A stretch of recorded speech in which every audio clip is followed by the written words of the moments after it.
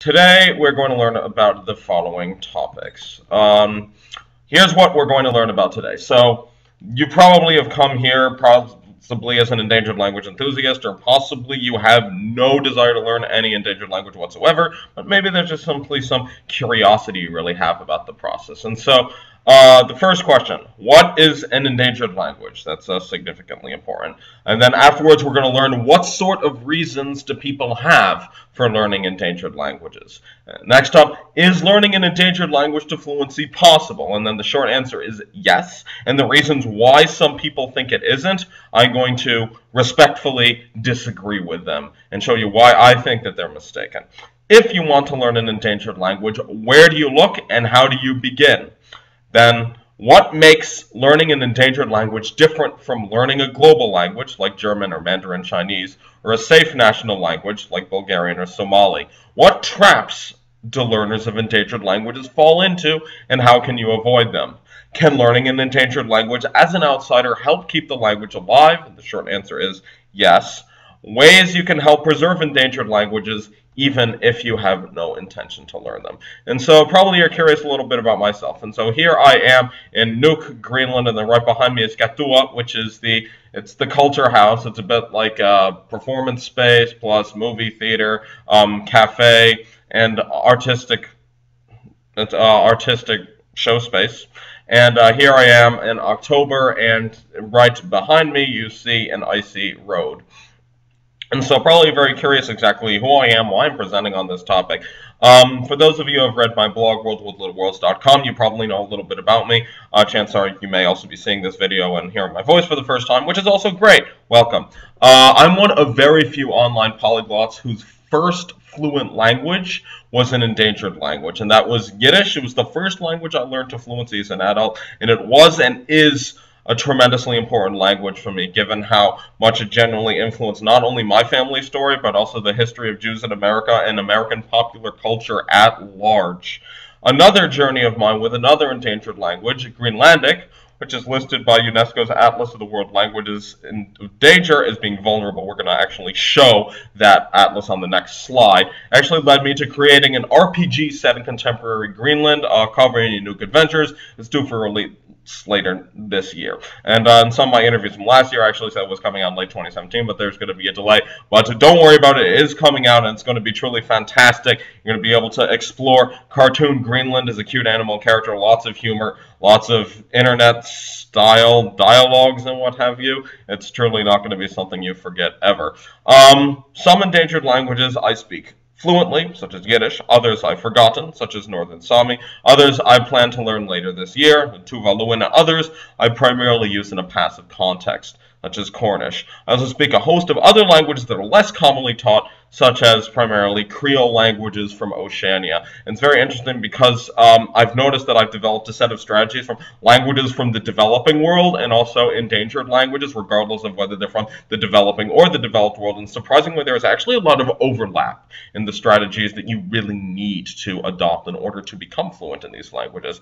And um, yes, I've tried to get enthusiastic about some global languages, but part of me always feels a detachment to most of most of them, and my passion is really always the, the little guy. And it's it's okay if you feel that way too, or if you like bigger languages, uh, that's also perfectly acceptable. Okay, so a little bit more about what is an endangered language. So on the right here, we have the UNESCO Atlas of the world's languages in danger. The white pins indicate a language that is vulnerable, that may be falling out of use within the younger generation, and then the red pins on the other hand indicate critically endangered, which means that the primary speakers of this language are senior citizens, and even among them, the language is falling out of use. The black pins indicate a language that is no longer living, and then the yellow and orange pins indicate definitely and severely endangered, respectively.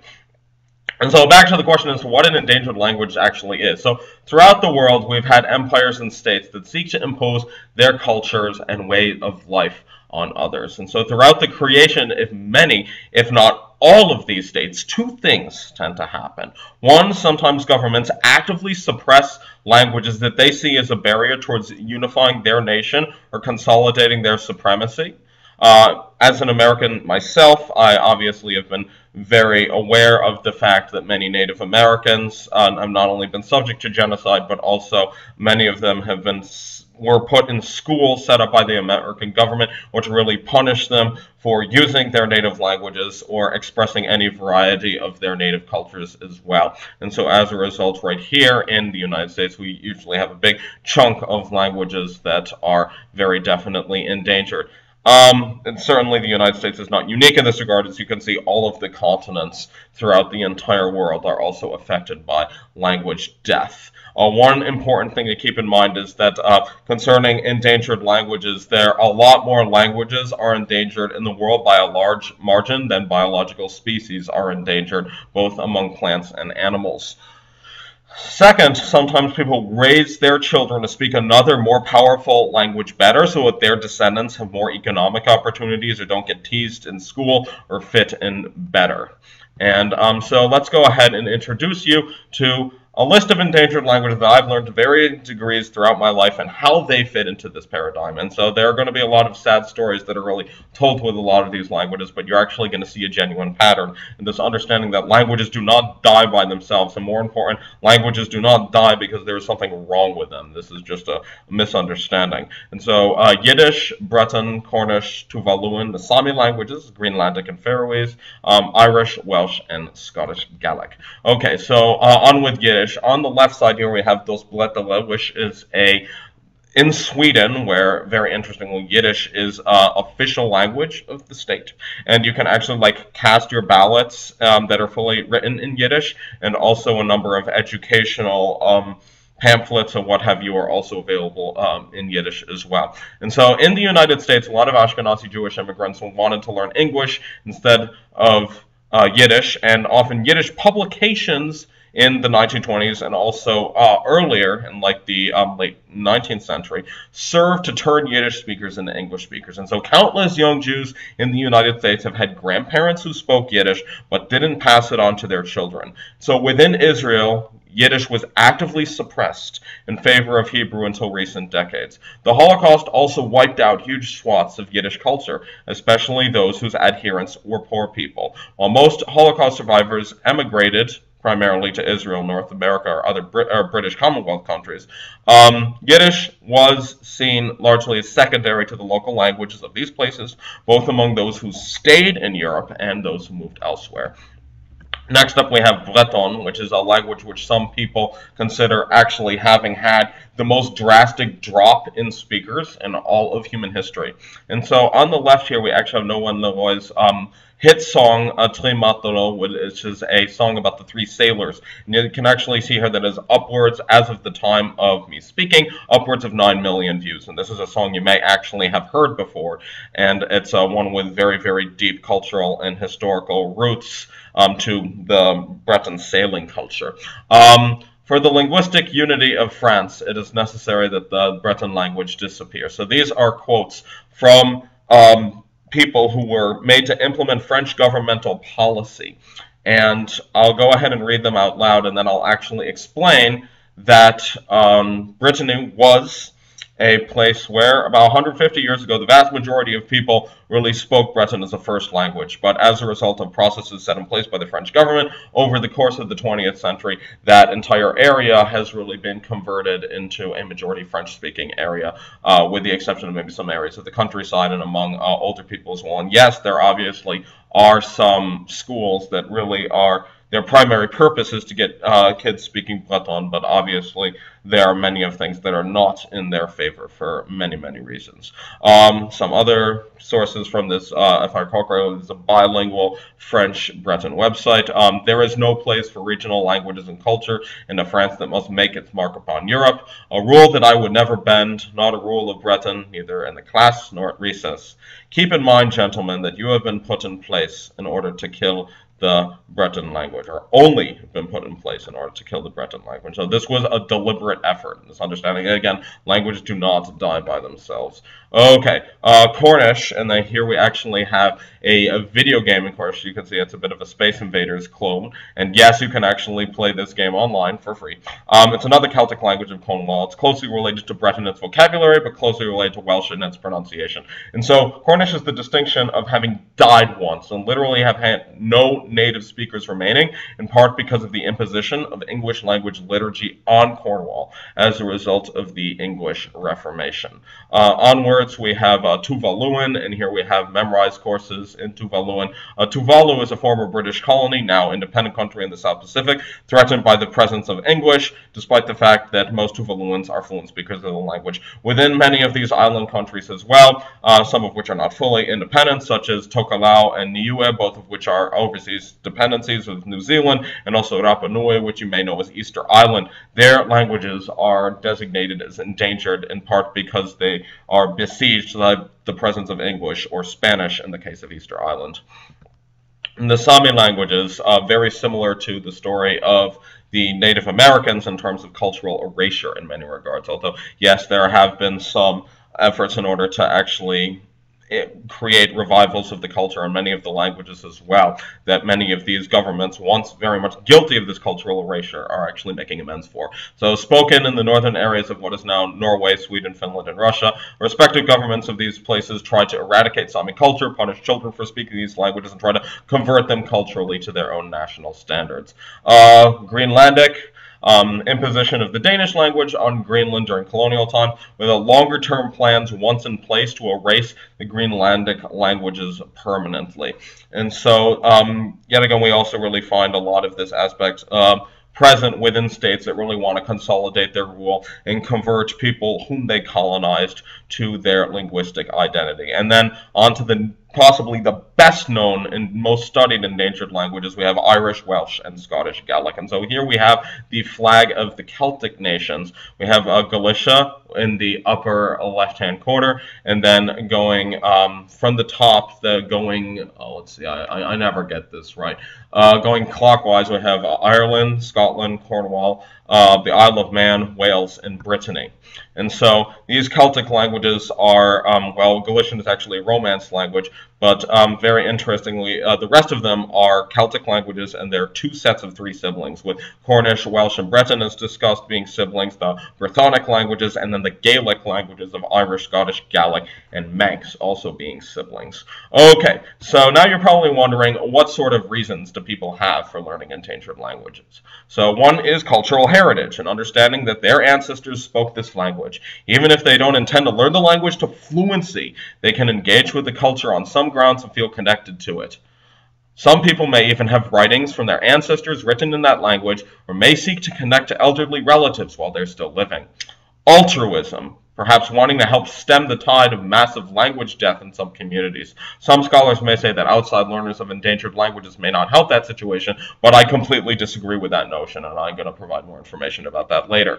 Uh, travel. Sometimes you may find yourself somewhere where an endangered language is spoken, even by a minority, for example, in English-speaking areas of Ireland, where many of the signs are bilingual in Irish and in English. And for example, if you've been to the airport in Dublin, you'd actually really notice that even if you're primarily hearing English spoken in the terminals, the signs are actually written in English and in Irish. And if I recall correctly, when I was there last, um, the Irish is written in a very, very distinct green font, and it was very noticeable everywhere. So learning such a language, even if it prominently isn't spoken there, may enable you not only to notice things that most travelers don't, but may also give you the usual routine of free drinks and making friends with significant ease. Like in some places, Ireland is one place, and Brittany is another. Uh, some people actually wear badges that indicate that they're fluent speakers so that people can identify them on site and switch to the endangered language. Sometimes some of these badges are actually color-coded to indicate levels of fluency as well.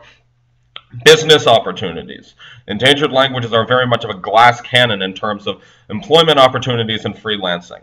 Knowledge of them may not be too appreciated at your local language social, but in the right community, your knowledge of a language like Cornish could mean guaranteed employment. And so very interestingly, if you really want to go ahead and live in Cornwall, go ahead and learn Cornish and see how many um, Cornish speaking jobs are really available there, given how a lot of people throughout the globe have really written off the Cornish language very sadly as useless. This means more opportunities for you, and you could actually really find yourself in a fantastic uh, teaching position or maybe something concerning the radio or what have you that you didn't even think possible. It's like almost cheating. And go ahead and try that out.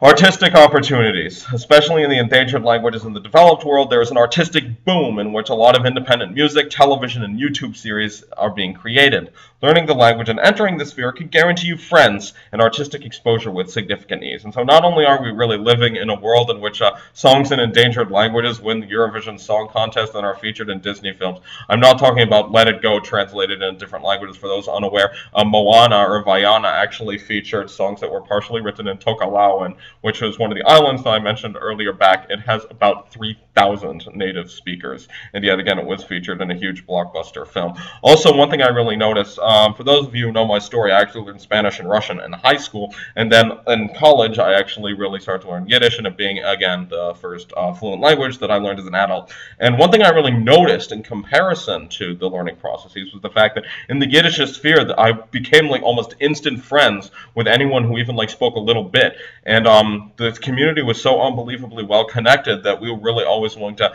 help each other up to become friends, to really help each other really become fluent.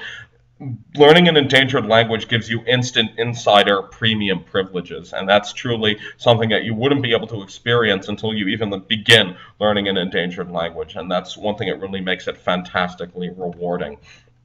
Is learning an endangered language to fluency possible? And the short answer is yes, and some reasons as to why some people don't believe that are going to be debunked very shortly. And so the truth is, is that your dreams with your dream endangered language, or even a set of them, can come true. However, you will need to significantly increase your volume of study, especially self-study and active activity with the language in order to become better with it. This means that you really need to rehearse speaking, preferably with a recorder or a video, and then publishing that, writing diaries as well, and posting it on Polyglots, the community, and also really ensuring that you make it genuinely a part of your life very, very forcefully and with great passion. And you're going to need to do more of that because in order to really rack up that hour count, you're really going to need to make up for the fact that you're not getting as exposed to this language as often. Uh, social media can definitely help. Rehearse with writing, making videos of yourself speaking, or even impromptu classes that you can feature on a YouTube channel like YouTube or Daily Motion or a Tumblr. Uh, if you have a community nearby that speaks the local language, you're in luck. So, for example, I'm um, recording this video in uh, Brooklyn right now. And so in New York City, there are a lot of secular Yiddishists with whom I practice this language. In other areas of the world, I may not have that opportunity as often. So let's take language socials in places like Ireland.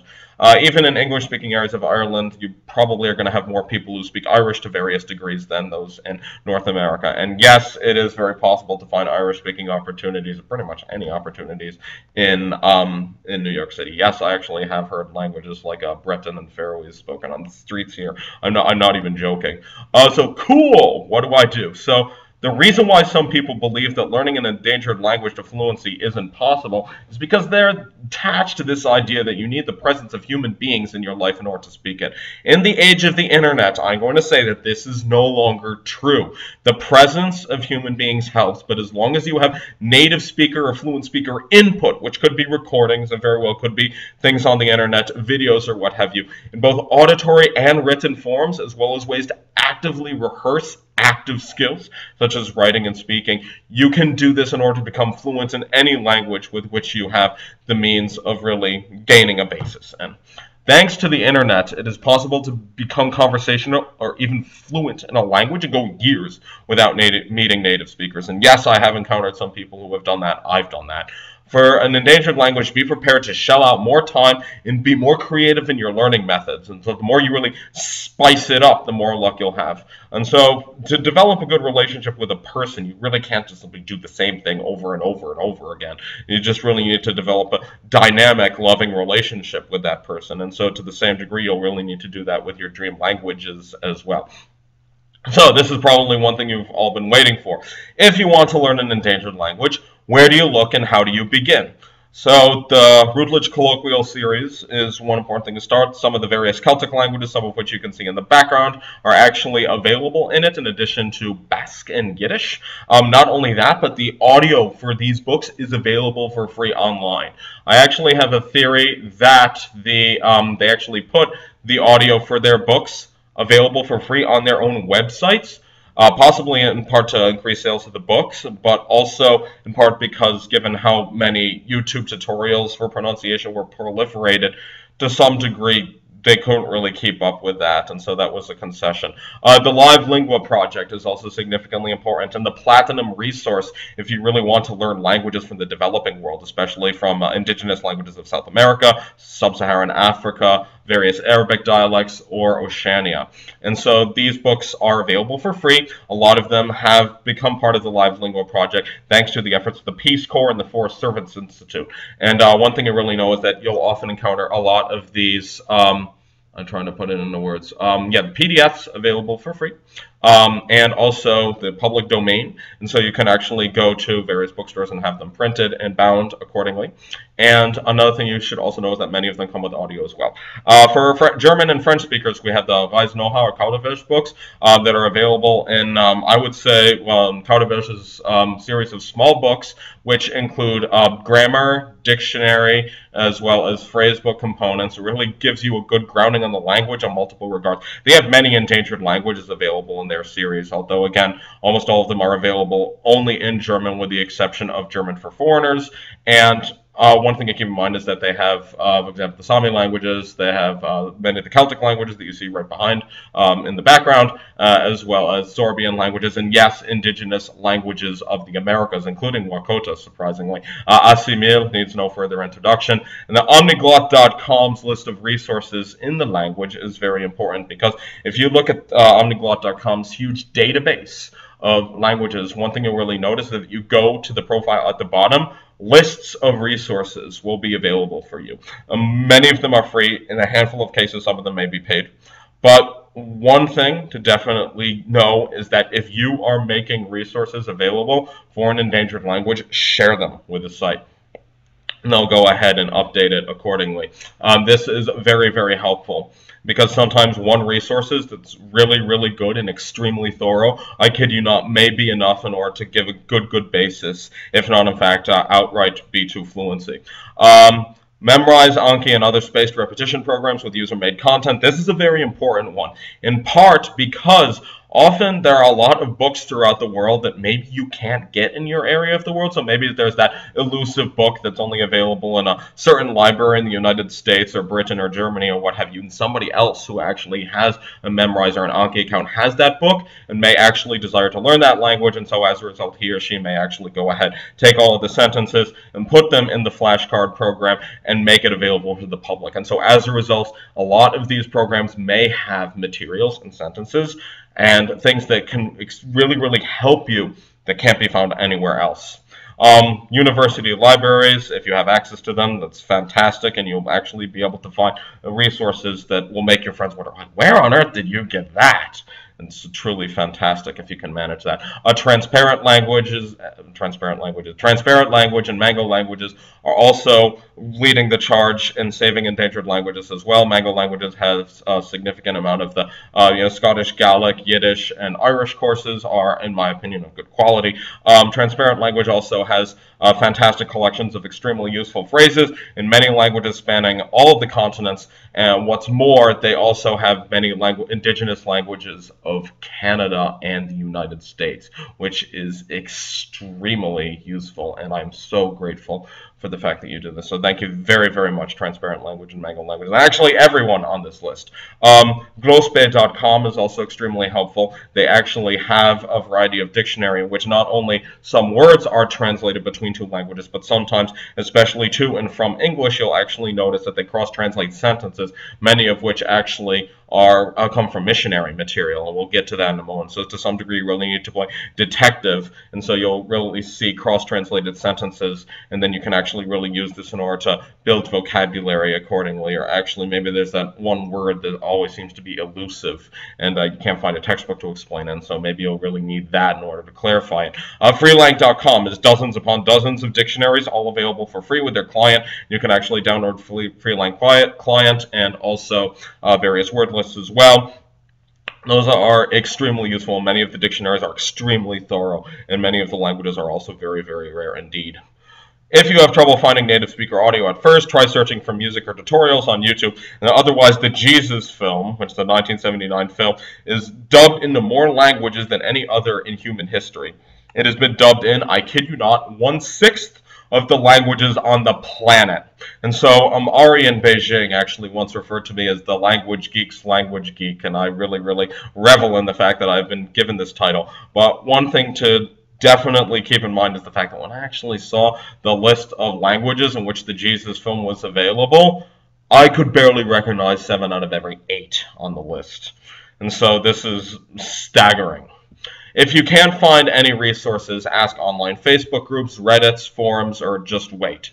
More materials can and will come out in the future, and even for endangered languages, the material, both free and paid, will continue to grow. And so once you really have a lot of the bases as a combination of these materials, we're going to get into what I call the chessboard theory later on, and the short version is use every single resource you have if you really want to gain fluency. The primary goal from there on out is the same as any other language, learn how to pronounce it, learn basic phrases, learn how to put sentences together with the verbs like to be, to want, to have, etc. Okay, so now on to the next issue. What makes learning an endangered language different from learning a global language like German or Mandarin or a safe national language like Bulgarian or Somali? Technological usage can be scant or non-existent. For a language like Breton, there is Mozilla Firefox, Facebook, Minecraft available in, with a Breton interface. But not all endangered languages are as well endowed, often because corporations want to minimize translation costs. And when, I've actually seen this very consistent pattern in which almost uh, those programs that tend to be available in endangered or minority languages almost always have some variety of co connection to Crowdin, which is a it's a platform that enables you to actually outsource your localization of volunteer translators. And so Minecraft, for example, uh, is available in many endangered languages as well, as is Facebook, which I believe also has a Klingon language interface, if I recall correctly, in part because instead of paying for translation, you have volunteer translators that really want these programs available in the languages of their dreams. Uh, content online may also be more scarce. This is more relevant for endangered languages from the developing world. Fewer opportunities to meet native speakers in person, depending on where you live, but with apps on the internet, this may change completely, especially if you live in a big city. The fact is that you may actually find your opportunities to meet native speakers, even of very rare languages, especially in big cities, maybe mushrooming in the coming years, and that's a really, really good thing.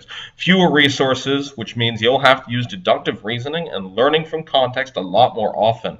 In some cases, where you may have grammar books, some some phrases in a dictionary, but not many dedicated textbook, you may have to make your own phrase book. And so this is my battle plan for Tuvaluan, which I intend to study in the spring once I actually really get a good grounding on Fijian, which is my current language project. And uh, obviously, if you don't feel too comfortable in making your own sentences, you can compare it to those in Glosbe, for example, the uh, dictionary that I mentioned on the previous slide, or you could also go to the various national subreddits, and then they can also give you varieties of feedback as well. And so in the internet, uh, you know, yes, it can be very hard to find a lot of these uh, native speakers, but it's certainly not impossible. What traps do learners of endangered languages fall into, and how can you avoid them?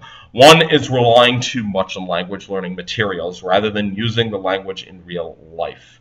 This is huge. A lot of language learners, even of global languages, tend to make this mistake. You primarily need your language learning materials something to graduate from rather than to become attached to.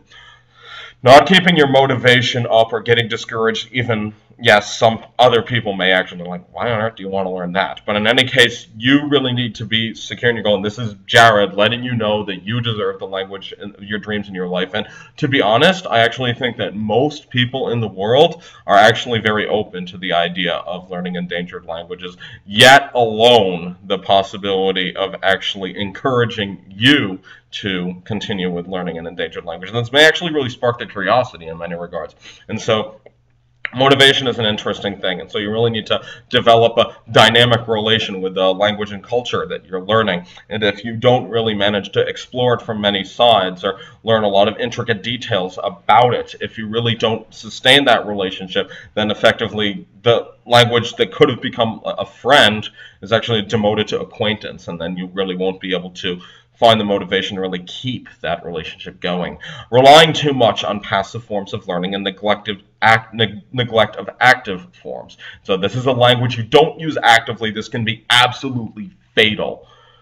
Not using every available resource. And so I spoke to Luke Truman of Full Time Fluency about a week and a half ago. And one thing I really mentioned there for the first time in a public interview is the chessboard theory. So the premise goes like this If you have a chessboard and you want to win the game, you're not going to win very well if your rook and your knight and your bishop is just simply sitting are sitting there together in the corner untouched the whole game. You, in order to win, you need to use every single available resource. The pieces that you have in chess are given for a reason. You need to actually utilize each one in accordance to its strength. And so one result of this is that your grammar, your music, your television, and your uh, target language, you really need to be using them to maximum effect. And so you can't use just simply one resource over and over and over again and expect to get fluent. That's not going to happen. You're going to really need to create a mixture of different elements in order to really create the lasting relationship and lasting fluency of your dream language. Uh, going to the same materials, even for native speakers over and over again. Yeah, I've actually seen this. I've sometimes been guilty of it myself. And sometimes, you know, the same five podcasts, the same four movies or what have you.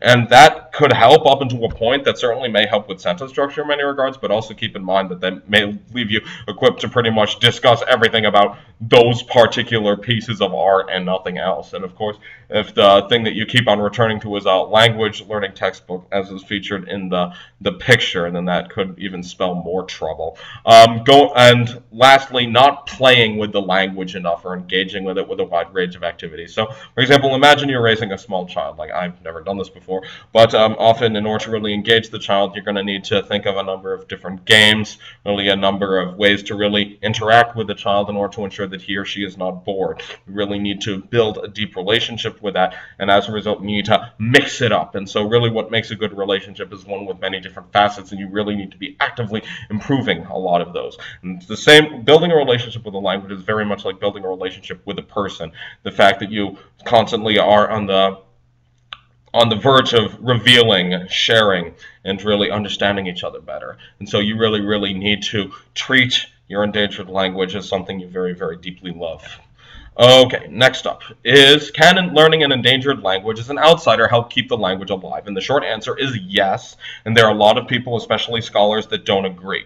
So there's a fallacy among some academics who think that learners like you and me can't do anything to stem language death, that it is secondary to focusing efforts on the community where the dying language is spoken or would be spoken. But the truth of the matter is that every little bit helps. The fact is, is that I know so many people who have been possibly inspired to learn an endangered language by virtue of one song that they heard one time.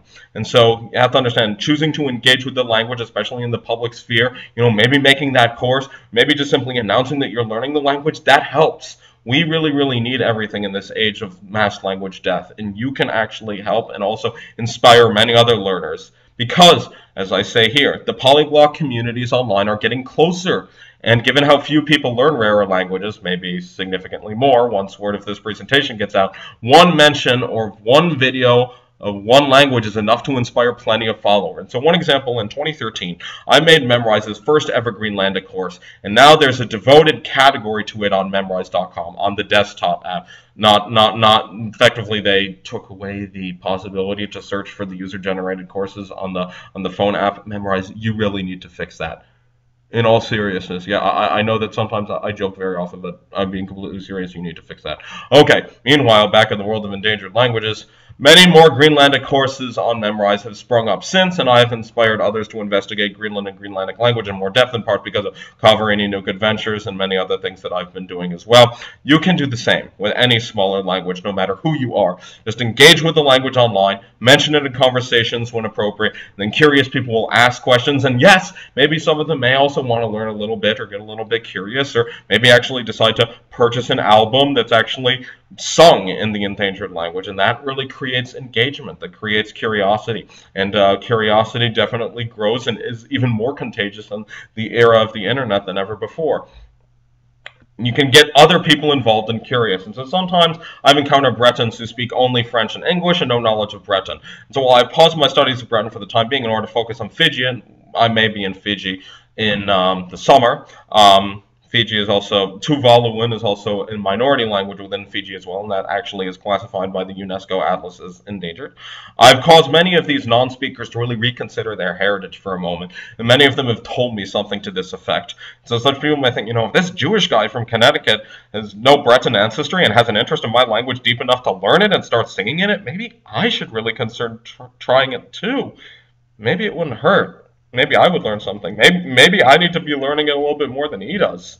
And so that really also creates that that spark as well. And I also know that some Jews who didn't who don't speak Yiddish also sometimes encounter Gentile Yiddish speakers as well from throughout the world, and have also similarly had their own introspection process on behalf of that. And so yes, you can actually help. And then lastly, uh, ways you can help preserve endangered languages even if you have no intention to learn them. One, don't refer to languages as useless. This is a very very big one all of us human beings deserve to live. All of our human cultures deserve to live. It's not just simply the big or the powerful or the ones with the most money that deserve to live.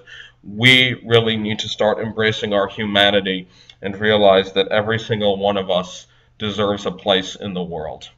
And you also, on line with that, realize that every language has value and that each one truly tells a genuine piece of the human story, many of which have been irretrievably lost, but many of which we can certainly continue saving. And you can play a part in that just with these attitude changes, at the very least right? Realize that our diversity makes us human and that conformity makes us mechanical. And then lastly, my final point is that there is an ongoing battle for domination between humans and corporations. And so in the late capitalistic system, there's this often idea that, you know, what is useful, what is worth money is better, and then what is small and not worth as much money deserves to be tossed out. And so like, to some degree, there's this idea of, you know, offering humans, offering human cultures, and this is this runs counter to who we are as a species. And so to some degree, yes, I think that there are some forms of capitalism that can actually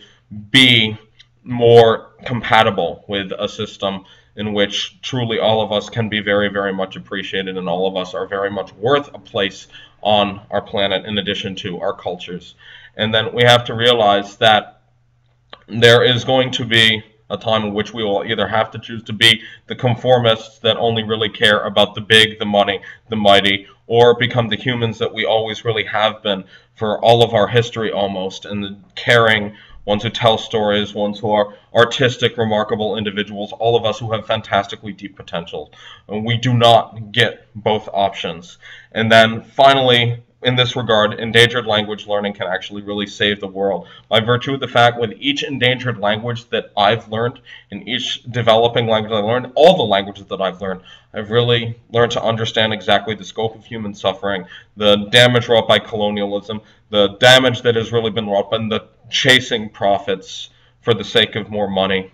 And really, it makes me a better human. With each language that I learn, regardless of whether I learn it to fluency or not, I am very deeply pained for the world. And I think that if all of us were to study languages from all throughout the world, among the global languages, the smaller national languages, and the endangered languages, then we would truly be in a fantastic place as a species. And I look forward to that day coming. Okay, so um, here questions, feel free to go ahead and write them in the comments.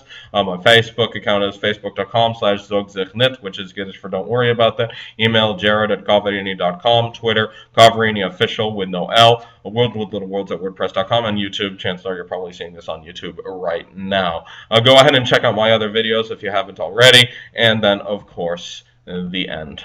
We have a choice to keep the many cultures in our world alive. This is a sign that I actually did uh, for um, Environmental Protest March last year. And so we have uh, Kiribati and Tuvalu. Uh, their well, their cultures and their physical landmass are very much threatened by um, climate change. And so, as a result, we really have a choice whether to choose to engage with saving them or whether we don't. And even if you don't have any attention to learn any endangered language, again, that attitude and realizing that all of our cultures have worth counts for something and it's more powerful than you realize. Have a good one, and I'll see you next time.